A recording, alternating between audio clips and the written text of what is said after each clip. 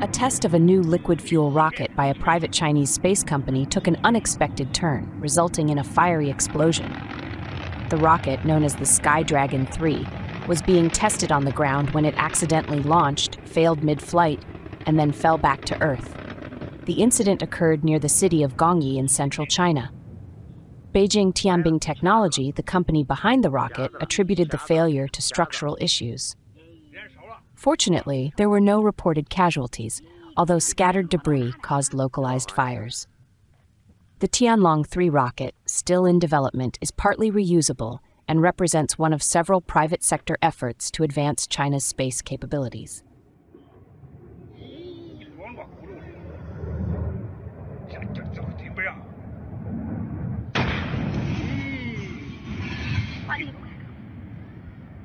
Hm.